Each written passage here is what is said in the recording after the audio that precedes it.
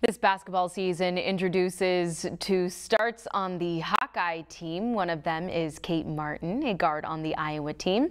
Ahead of the game, our sister station spoke to her parents about how the newfound stardom has impacted their lives.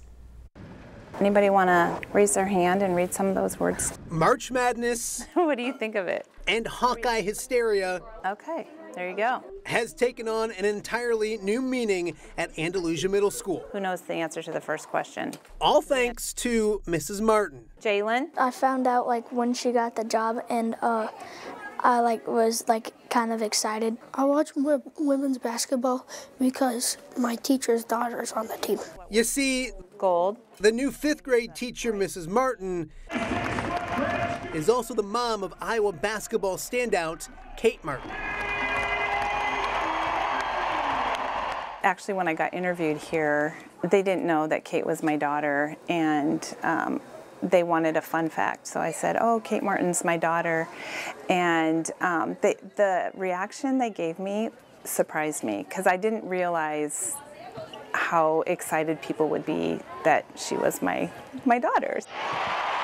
The Quad City native moving back home from Edwardsville this season and back in the middle of Hawkeye country. It's amazing. I mean, who would have thought little boys would be wearing girl jerseys? And back when I was a kid, you would have probably been teased for that. Today, you see them everywhere. Her young students becoming students of the game as well. When she comes back, we just talk about like how good the game went and um, stuff that happened to like Kate. The kids all come and tell me, I watched the game last night. I saw you on TV, and um, they love it. And they talk about all the um, exciting things that she did on the court during a game.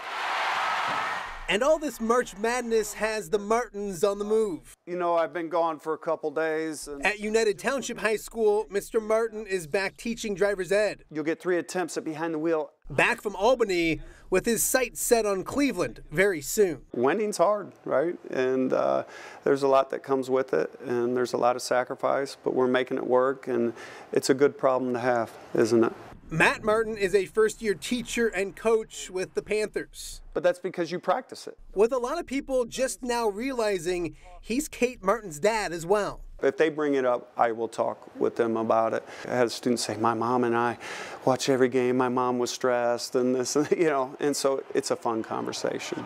And it should come as no surprise the glue of the Iowa women's basketball team has a pair of teachers to learn from. She fixes things. The glue is maybe the fixer, right? You know, and and she's willing to provide what the team needs at the time. And being educators and coaches in our family, she's been surrounded by it. You know, a certain mindset. No excuses. I'm not surprised that she's she does that. She's always been unique and kind, um, and not afraid to um, speak up. Proud parents watching their baby girl succeed on the college hardwood while helping take women's basketball to an entirely new level. Hope they see it's bigger than just basketball. It's not just the winning, it's how they conduct themselves. It's the kind of people they are on and off the court. I don't know how to feel about it all. Maybe on the other side of this, I will um, let it all soak in and it will hit me. But right now, I just focus on being her mom and watching basketball um, like I always have with her.